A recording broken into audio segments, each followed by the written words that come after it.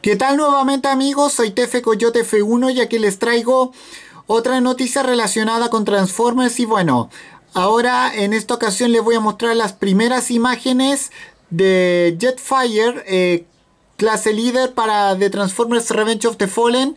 Eh, para la línea Transformers Studio Series y bueno como sabemos este al igual que su versión de Revenge of the Fallen también se puede combinar con Optimus Prime y bueno eh, aquí podemos ver, por ejemplo, la, caja.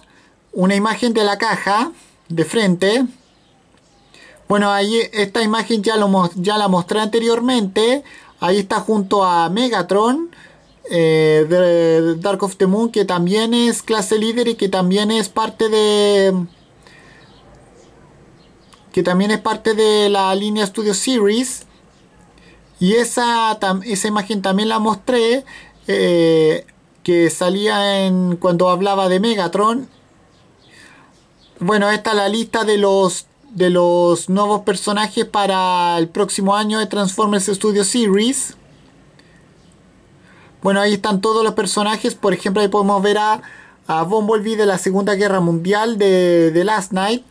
Sideswipe de Dark of the Moon en su modo de Corvette Corvette convertible, Barricade, eh, Crankcase, eh, Rusty Bumblebee de la primera película y Dropkick de la película de Bumblebee y, y bueno ahí esa la famosa imagen de Von Crusher peleando contra Optimus Prime en Transformers, en la primera película de Transformers de 2007, en la carretera obviamente.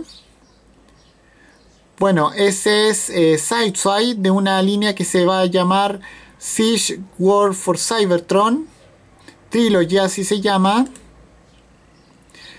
Ese es la cabeza de un Transformer que no tengo ni idea quién será. Ese es si ese es Sideswipe precisamente. Ahí está la cabeza de Sideswipe en modo robot.